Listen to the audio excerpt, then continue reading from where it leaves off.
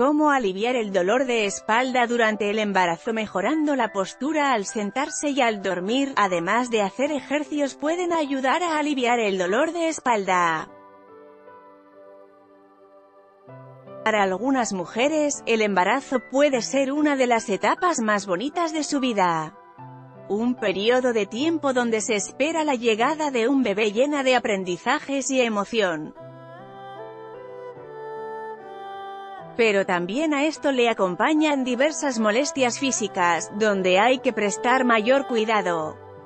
Una de ellas, es que comiencen a sentir dolor de espalda por el aumento del peso, a medida que la guatita crece. Algunas zonas donde podría presentarse dolor son en la parte baja de la espalda, dolor lumbar, aproximadamente a la altura de la columna, dolencia que irradia hacia las piernas, y, o en la zona pélvica, que puede llegar hasta el muslo, ¿cómo se pueden aliviar estos síntomas?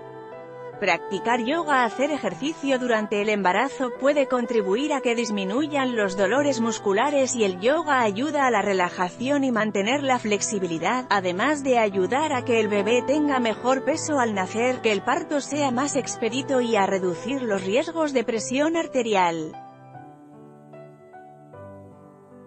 Postura al caminar y sentarse es importante mantener una buena postura al caminar y al permanecer sentada y al estar recostada, se recomienda mantener la espalda pegada a la silla, con los pies apoyados en el suelo y sin cruzar las piernas.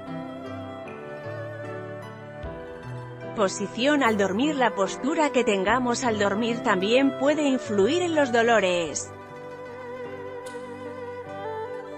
En ese sentido, podría ayudar el acostarse de lado, lo cual podría favorecer la circulación y evitar hinchazón.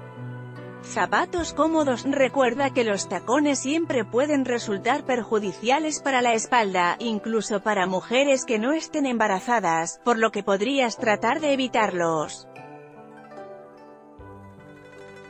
Ante esto, se recomienda escoger otros modelos que sean de suela más cómoda y con el menor taco posible. Seguir leyendo